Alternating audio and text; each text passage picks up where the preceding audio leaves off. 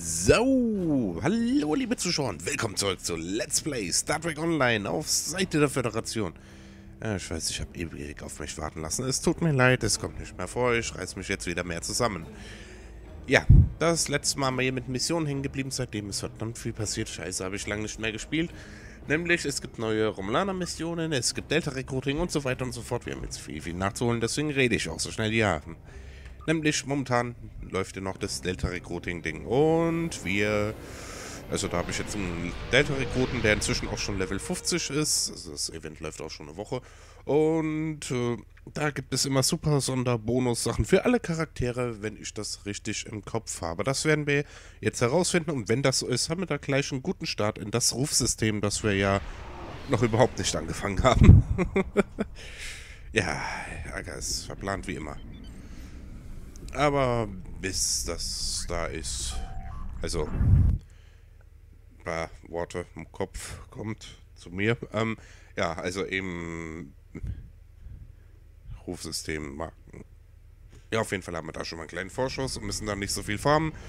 Gut für euch, es ist nicht so langweilig für euch. Gut für mich, ich muss nicht so viel einmal dasselbe machen.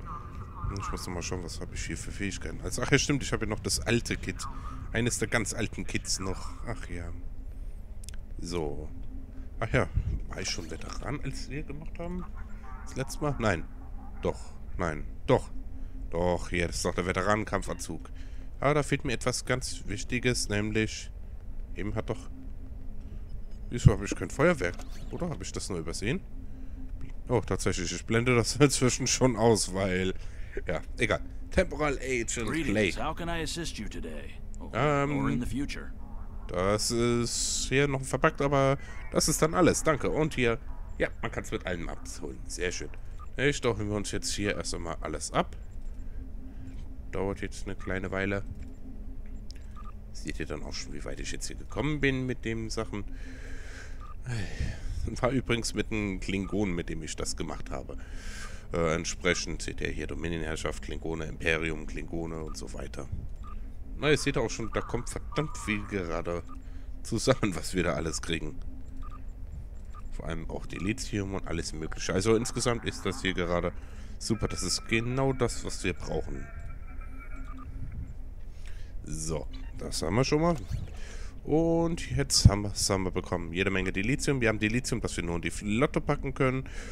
Ähm, und ganz viele Kisten mit Marken. Und hier F&E Forschungsbonus. Ähm, die alten 20% mehr Forschungs-EP, bis wir insgesamt 2000 erhalten haben. Das verwenden wir dann auch gleich, weil wir hier noch ganz am Anfang stehen mit F&E.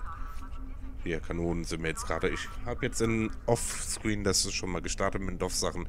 Neuerdings kann man ja immer drei starten, dann machen wir erstmal Kanonen fertig, weil wir fliegen hauptsächlich mit Kanonen. So, jetzt kommen die wichtigen Sachen, nämlich Marken. Zuerst mal 10 Marken für irgendwas. Ähm, da würde ich sagen, dann nehmen wir jetzt die Marken, die wir am langsamsten wahrscheinlich kriegen werden, nämlich die, die wir nicht über irgendwelche Wartelisten so machen können, sondern die irgendwie mit der Story verknüpft sind, weswegen ich die dann erstmal beiseite schiebe. Das wäre Dyson, Undinen, Delta. Ansonsten Nukara, das kann man über Kristallfi, Borg, SDFs und Romulaner-Marken, da kann man im Taudeva-Sektor. Aber jedes andere fangen wir mal mit Delta an. Dann nochmal Delta, da haben wir da schon mal 45. Dann einmal 100, da machen wir mal kurz Undinen. 200 für Dyson. Und 500 für...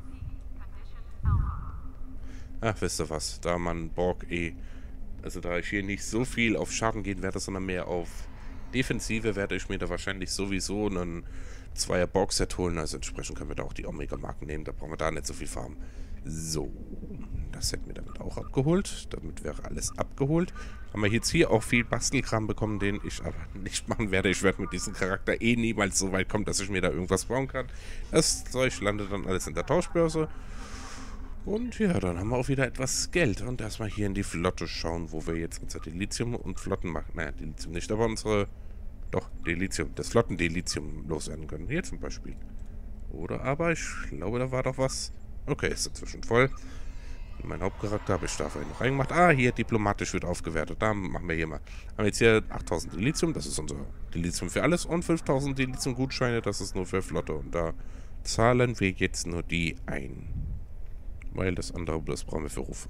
Na komm, auf die 164 kommt es auch nicht an. So. Schon haben wir hier auch mal etwas mehr Flottencredits. Das ist immer noch so gut wie nichts, aber es ist schon mal etwas. So, das war das. Dann, bevor wir irgendetwas anderes machen, gehen wir erstmal zur Bank, Tauschbörse und holen uns Fördermarken ab. Ich weiß nicht, inwieweit ich schon Fördermarken abgeholt habe. Ich hatte mal welche ganzen Schwung für meine Let's Play-Charaktere gemacht, aber bin mir nicht sicher, ob ich die schon gemacht habe. Hier können wir schon mal ein Projekt einreihen. Dann sehen wir, hier habe ich noch nicht gemacht. Hierbei ist schon eingereiht, da können wir dann gleich das erste starten. Top, top. Top. Ähm, hierbei ist schon eingereiht, da können wir dann könnten wir dann das erste starten, wenn ich mir Romulaner-Marken geholt hätte. Aber ihr könnt schon mal einzahlen. Oh Gott, ich habe nur 13.000. So, Nukara reihen wir gleich ein. Und ver. Ver. Ver. So, jetzt sehen wir auch mehr. Ähm. Wo ist das für doppelte XP? Ach, habe ich schon. Okay. Dann können wir hier auch gleich das starten, soweit wie es uns gerade möglich ist. Omega habe ich hier 5000 habe ich schon gemacht, sehr schön. Ich bin stolz auf mein Vergangenheitsager, das hat schon viel erledigt.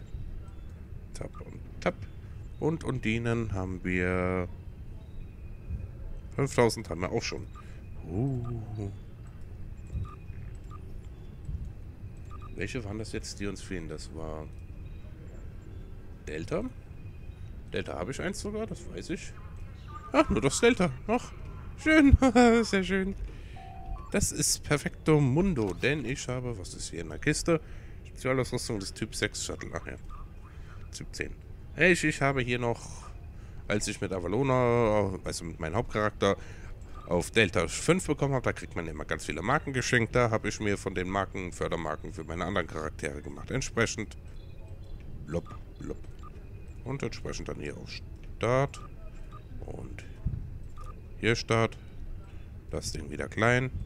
Die Dyson-Box geöffnet wird. Da haben wir eine Bodenwaffe bekommen. Hat jetzt eigentlich auf eine Raumwaffe gehofft oder Konsole, weil die kann, sind, nix, äh, sind nicht gut. Die kann man dann gleich wieder verkaufen. Aber gut. So, und dann Material. Ja, man sieht, dass ich Klingone unterwegs war. Das sind die klingonischen Bezeichnungen. Ähm, Preis, aufsteigenden Preis pro Stück. Schauen wir erstmal nach Z-Partikeln, was die gerade Preis pro Stück bringen. 47.000. Wir haben sechs Stück. Also. Komm, Taschenrechner für 6 mal 7. 322.000.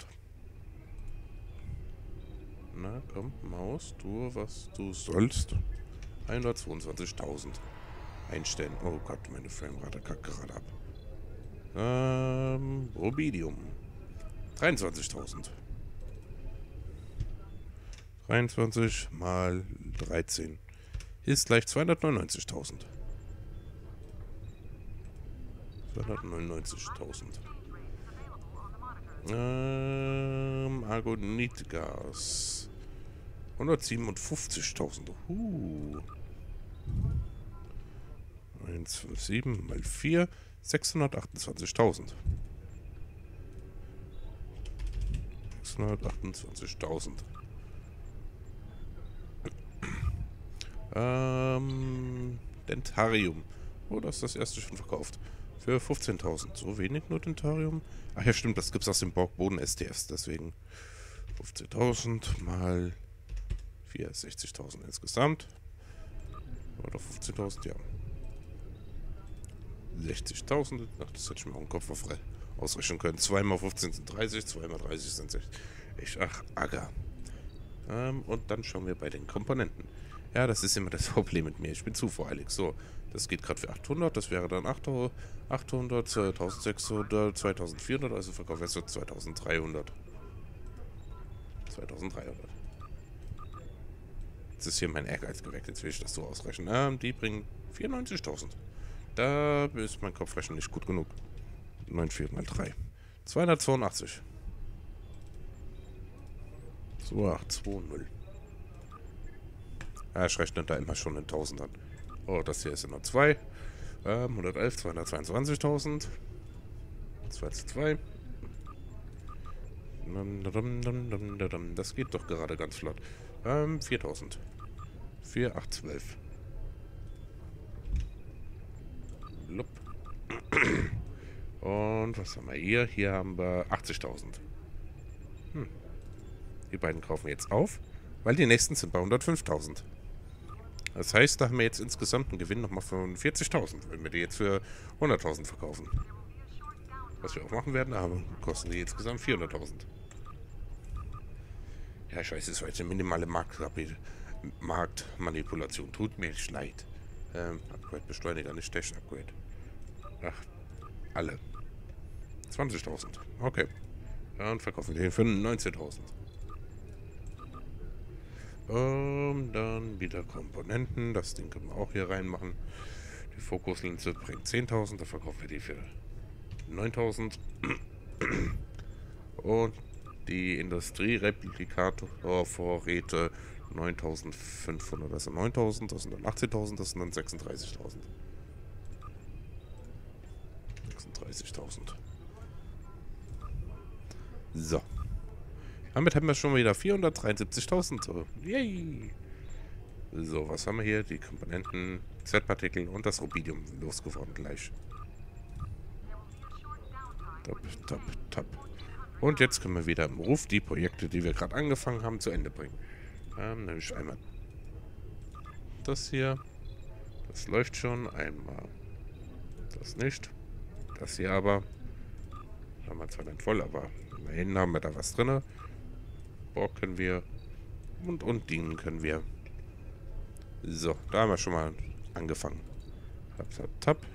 Kisten geöffnet. Sind alles Bodenwaffen. Hier ist nichts Neues. Es ist nur Dingsbums. Ähm, gut.